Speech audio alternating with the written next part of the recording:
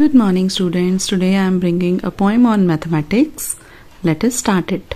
Maths is a book you can't close till it's done. Maths is a book you can't close till it's done. Maths is like a lottery you can never win. Maths is like a lottery you can never win. Maths is a smile, it can be happy and evil. Maths is like an alien, you don't know all about it. Maths is like time, it never stops. It never stops. Maths is like eternity, it's never over. Maths is a mother, it's always there when you need it. Maths is like a rainbow, it has a treasure at the end.